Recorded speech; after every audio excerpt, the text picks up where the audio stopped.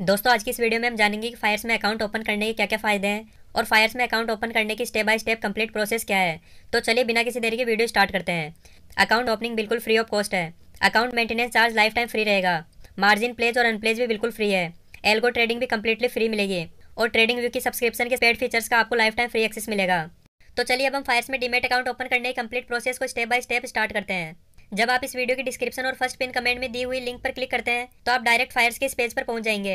अभी आपको अपनी ईमेल आईडी और मोबाइल नंबर डाल देना है। या टर्म्स एंड कंडीशन के सामने के बॉक्स पर क्लिक करना है। आप यहाँ पर टर्म्स एंड कंडीशन पर क्लिक करके टर्म्स एंड कंडीशन रीड कर सकते हैं। उसके बाद यहाँ साइन अप नाउ पर क्लिक कीजिए।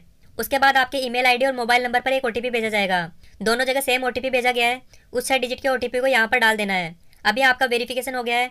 यहाँ प्रोसीड नाउ पर क्लिक कीजिए। अब आइडेंटिटी डिटेल्स का ये पेज ओपन हो चुका है। अब यहाँ पर क्लिक करके पैन कार्ड की फ्रंट फ़ोटो को अपलोड कीजिए। यहाँ मैं कंटिन्यू पर क्लिक करता हूँ। अब यहाँ पर आपको दो ऑप्शन मिलेंगे। फ़ेज़ फ्रॉम के और कंटिन्यू मैनुअली यहाँ मैं फ़ेज़ फ्रॉम के पर क्लिक करता हूँ। यहाँ आपकी पैन कार्ड की पूरी डिटेल्स हो जाएगी। या मेरिटल स्टेटस में सिंगल या मेरिट को सेलेक्ट कीजिए। या अपनी मदर का नेम फिल कीजिए। उसके बाद कंटिन्यू पर क्लिक कीजिए। अभी अपना पैन कार्ड और उसकी डिटेल चेक कर लेनी है। और मदर नेम फिर से फिल कर देना है। उसके बाद कंटिन्यू पर क्लिक कीजिए। अब यह कॉन्टैक्ट इन्फॉर्मेशन का पेज ओपन हो गया है। यहाँ मैं एड्रेस प्रूफ के तौर पर आधार कार्ड को सेलेक्ट कर लेता हूँ। आप अपने अकॉर्डिंग कोई भी प्रूफ सेलेक्ट करके अपलोड कर दीजिए। यहाँ आप डायरेक्ट डिजी लॉकर के थ्रू भी एड्रेस प्रूफ अपलोड कर सकते हैं। डिजी लॉकर के थ्रू आधार कार्ड अपलोड करने के लिए अपना आधार कार्ड नंबर यहाँ इस बॉक्स में फिल करके नेक्स्ट पर क्लिक कीजिए। अब आपके मोबाइल नंबर पर ओटीपी आएगा। उस ओटीपी को यहाँ पर डालकर कंटिन्यू पर क्लिक करना है। यहाँ मेरा आधार कार्ड डिजी लॉकर के थ्रू फेच कर दिया गया है। अब यहाँ एड्रेस फिल करना है। और यहाँ अपना स्टेट सेलेक्ट कीजिए। अगर आपका परमानेंट एड्रेस कहीं और का है तो यहाँ इस बॉक्स पर क्लिक कीजिए। और अगर आप इंडिया के बाहर भी टैक्स पे करते हैं तो इस बॉक्स पर क्लिक कीजिए। अगर आपका परमानेंट एड्रेस और ऊपर की तरफ़ फिल किया हुआ एड्रेस सेम है तो इस बॉक्स को ऐसे ही खाली छोड़ दीजिए। अगर आप इंडिया के बाहर टैक्स पे नहीं करते हैं तो इस ऑप्शन को भी खाली छोड़ दीजिए। उसके बाद कंटिन्यू पर क्लिक कीजिए। अभी आपको बैंक एंड सेगमेंट की डिटेल्स फिल करनी है। या I code bank account number bank का नाम ब्रांच बैंक का एड्रेस और एमआईसीआर कोड फिल कीजिए। उसके बाद आपका सेविंग या करंट जो भी अकाउंट है, उसे सेलेक्ट कीजिए। अगर आपने ऊपर की पूरी इन्फॉर्मेशन करेक्ट फिल की है तो यहाँ इस बॉक्स पर क्लिक कीजिए। अभी आपको commodity currency equity and future and options और म्यूचुअल फंड्स जो भी सेगमेंट एक्टिव करना है, उस पर टिक मार्क कीजिए। जिसे एक्टिव नहीं करना है, उस पर टिक मार्क हटा दीजिए।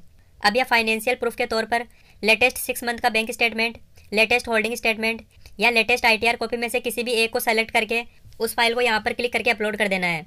जो फ़ाइल आप अपलोड करोगे, वो फ़ाइल पीडीएफ या इमेज में ही अपलोड करनी है। मैंने यह लेटेस्ट सिक्स मंथ का बैंक स्टेटमेंट अपलोड कर दिया है। अब कंटिन्यू पर क्लिक करना है।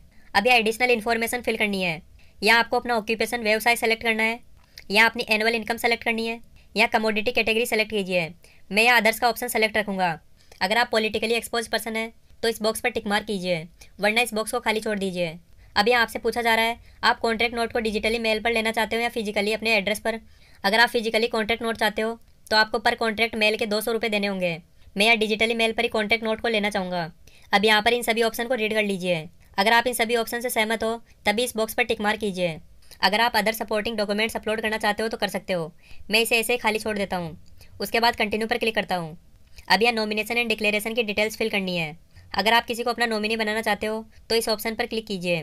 अगर आप किसी को नॉमिनी नहीं बनाना चाहते हो तो सेकंड ऑप्शन को सेलेक्ट करके कंटिन्यू पर क्लिक कीजिए। अभी आपको लाइव सेल्फी वेरिफिकेशन करना है। आपको यहाँ पहले इंस्ट्रक्शन पढ़ लेनी है। यहाँ पर जो भी ओटीपी लिखा आएगा उस ओटीपी को आप किसी पेज पर अच्छे से लिख करके सेल्फी लेनी है। सेल्फी लेने के लिए यहाँ पर क्लिक कीजिए। अब यहाँ कैमरा को अलाउ कर देना है। और आपको ऐसे पेज या फ़ोन में उस दिए गए ओटीपी को लिख करके एक सेल्फी लेनी है। या कंटिन्यू पर क्लिक कीजिए। उसके बाद यह कैमरा स्टार्ट हो जाएगा।